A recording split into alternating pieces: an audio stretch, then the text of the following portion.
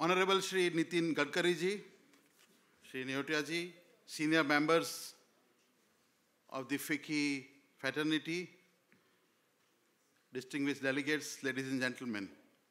It's a great pleasure to welcome Shri Gadkari ji to the FICCI annual meeting 89th. Uh, it is uh, your presence, sir, which actually has encouraged us a lot uh, in the changing economic scenario. As you all know, Gadkari ji has been the minister responsible for PWD in the government of Maharashtra.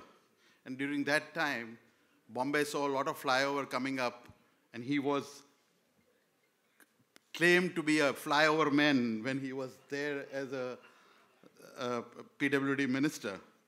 Since then, he has progressed and moved ahead and now became the honorable minister for the uh, uh, roads and I think uh, inland transport.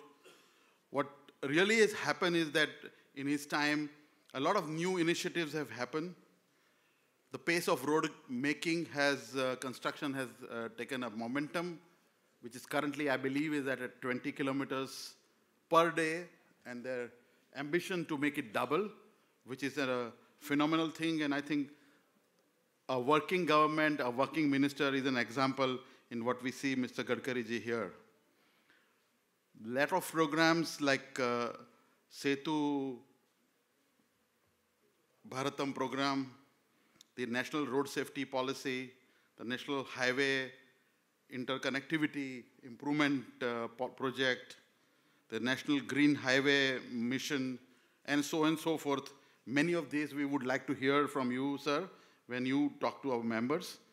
And I'm looking forward that how and which way the infrastructure need of a country, particularly with the inland transport and also transport through the shipping outside India, and how and which way the government is looking forward to enhance the infrastructure to ensure that India grow. And as we saw in the first session, the, the $10 trillion economy, it has to happen.